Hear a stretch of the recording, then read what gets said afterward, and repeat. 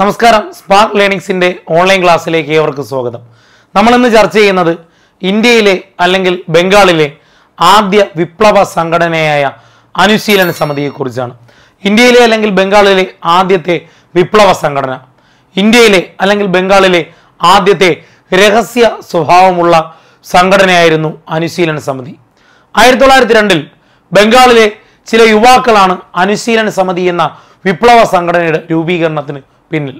ആയിരത്തി തൊള്ളായിരത്തി രണ്ടിൽ കൊൽക്കത്ത കേന്ദ്രീകരിച്ച് അനുശീലൻ സമിതി എന്ന വിപ്ലവ സംഘടന രൂപീകരിച്ചത് ബരീന്ദ്രകുമാർ ഘോഷും പ്രമാദ്നാഥ് മിത്രയുമായിരുന്നു. പ്രമാദനാഥ് മിത്ര എന്ന വ്യക്തിയായിരുന്നു അനുശീലൻ സമിതി എന്ന സംഘടനയുടെ രൂപീകരണത്തിന് പിന്നിൽ. ഇനി ഇദ്ദേഹത്തെ സഹായിച്ച മറ്റൊരു വിപ്ലവകാരിയാണ് ബരീന്ദ്രകുമാർ ഘോഷ്.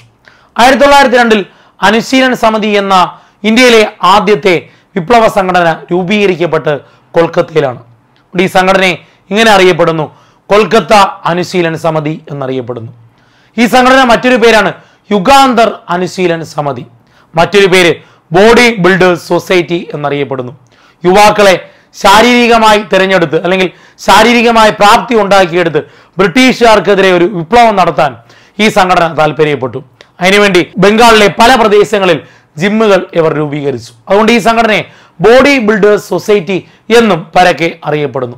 ഇപ്പൊ ഇന്ത്യയിലെ അല്ലെങ്കിൽ ബംഗാളിലെ ആദ്യത്തെ വിപ്ലവ സ്വഭാവമുള്ള സംഘടനയായിരുന്നു അനുശീലൻ സമിതി അല്ലെങ്കിൽ മറ്റൊരു പേര് കൊൽക്കത്ത അനുശീലൻ സമിതി അല്ലെങ്കിൽ ബോഡി ബിൽഡേഴ്സ് സൊസൈറ്റി അല്ലെങ്കിൽ യുഗാന്തർ അനുശീലൻ സമിതി. ഈ സമിതിയുടെ സ്ഥാപകരായിരുന്നു പ്രമാദ്നാഥ് മിത്രയും ബരീന്ദ്രകുമാർ ഘോഷ്. അനുശീലൻ സമിതിക്ക് ഈ പേര് ലഭിക്കുന്നത് ആധുനിക ബംഗാളി സാഹിത്യത്തിന്റെ പിതാവായ ബങ്കിം ചന്ദ്ര ചാറ്റർജിയുടെ അനുശീലൻ തത്വ എന്ന നോവലിൽ നിന്നാണ്. ബങ്കിം ചന്ദ്ര ചാറ്റർജിയുടെ അനുശീലൻ തത്വ എന്ന നോവലിൽ നിന്നാണ് വിപ്ലവകാരികളായ പ്രമാദനാഥ് മിത്രയ്ക്കും ബരീന്ദ്രകുമാർ ഘോഷിനും അനുശീലൻ സമിതി എന്ന പേര് ലഭിക്കുന്നത്. അപ്പൊ അനുശീലൻ സമിതിക്ക് പേര് ലഭിക്കുന്നത് ആധുനിക ബംഗാളി സാഹിത്യത്തിന്റെ പിതാവായ ബങ്കിം ചന്ദ്ര ചാറ്റർജിയുടെ അനുശീലൻ തത്വ എന്ന നോവലിൽ നിന്നാണ്. അനുശീലൻ സമിതിയുടെ ആപ്തവാക്യമായിരുന്നു force should be stopped by using force ബ്രിട്ടീഷുകാരൻ പ്രയോഗിക്കുന്ന ഏത് തന്ത്രമാണോ അത് ഉപയോഗിച്ചുകൊണ്ട് ബ്രിട്ടീഷുകാരനെ എന്ത് ചെയ്യുക? തടയുക. Force should be stopped by using force എന്നത് അനുശീലൻ സമിതിയുടെ ആപ്തവാക്യമായിരുന്നു അനുശീലൻ സമിതി പുറത്തിറക്കിയ ഒരു ലഘുലേഖനമായിരുന്നു ഭവാനി മന്ദിർ. ഭവാനി മന്ദിർ എന്ന ലഘുലേഖനം അനുശീലൻ സമിതിയുമായി ബന്ധപ്പെട്ടിരിക്കുന്നു. ആയിരത്തി തൊള്ളായിരത്തി ആറിൽ അനുശീലൻ സമിതി പുറത്തിറക്കിയ പത്രമായിരുന്നു യുഗാന്തർ. യുഗാന്തർ എന്ന പത്രത്തിന്റെ പിന്നണിയിൽ പ്രവർത്തിച്ച വ്യക്തികളാണ് അരവിന്ദോ ഘോഷ് ബംഗാൾ കടുവ എന്നറിയപ്പെടുന്ന ബിപിൻ ചന്ദ്രപാൽ സ്വാമി വിവേകാനന്ദൻ അനി അനിയനായ ഭൂപേന്ദ്രനാഥ് ദത്ത. ആയിരത്തി തൊള്ളായിരത്തി ആറിൽ അനുശീലൻ സമിതി പുറത്തിറക്കിയ പത്രമായിരുന്നു യുഗാന്തർ.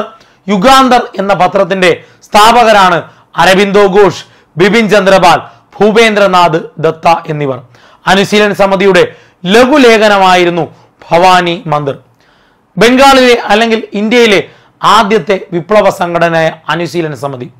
ആയിരത്തി തൊള്ളായിരത്തി അഞ്ച് ഒക്ടോബർ പതിനാറിലെ ബംഗാൾ വിഭജനത്തെ തുടർന്ന് അനുശീലൻ സമിതിയുടെ ചില നേതാക്കൾ കൊൽക്കത്ത കേന്ദ്രീകരിച്ചും അനുശീലൻ സമിതിയുടെ ചില നേതാക്കൾ ധാക്ക കേന്ദ്രീകരിച്ചും പ്രവർത്തിക്കാൻ തുടങ്ങി. അങ്ങനെ ആയിരത്തി തൊള്ളായിരത്തി ആറിൽ ധാക്ക അനുശീലന സമിതി എന്ന മറ്റൊരു സംഘടന രൂപീകരിക്കപ്പെട്ടു. ആയിരത്തി തൊള്ളായിരത്തി ആറിൽ ധാക്ക അനുശീലന സമിതി രൂപീകരിച്ച വ്യക്തിയായിരുന്നു പുലിൻ ബിഹാരി ദാസ്.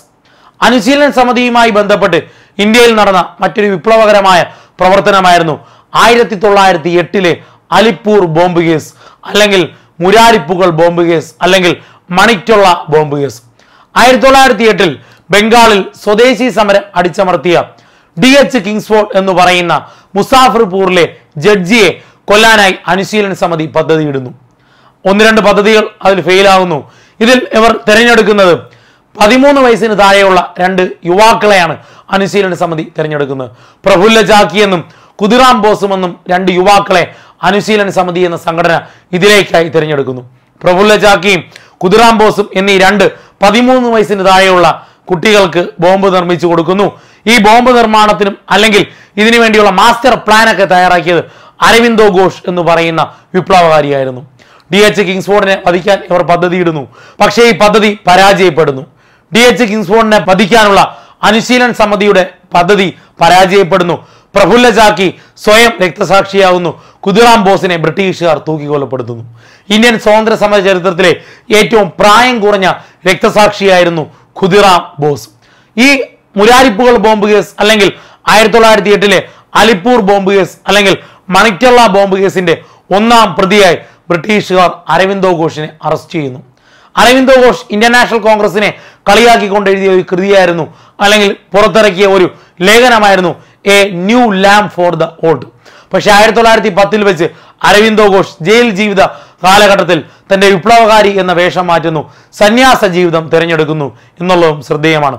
പാസീവ് റെസിസ്റ്റൻസ് അല്ലെങ്കിൽ സമാധാനപരമായ സമരം എന്ന ആശയം ഇന്ത്യയിൽ ആദ്യമായി അവതരിപ്പിച്ചതും അരവിന്ദോ ഘോഷ് എന്ന വിപ്ലവകാരിയായിരുന്നു. ഡോക്ടർ നോ പാസീവ് റെസിസ്റ്റൻസ് എന്ന കൃതി രചിച്ചതും അരവിന്ദോ ഘോഷാണ്. ഇന്ത്യയിലെ ആദ്യത്തെ വിപ്ലവ സംഘടനയായ അനുശീലന സമിതിയെക്കുറിച്ചാണ് നമ്മൾ ഇന്നത്തെ ക്ലാസ്സിൽ ചർച്ച ചെയ്തത്.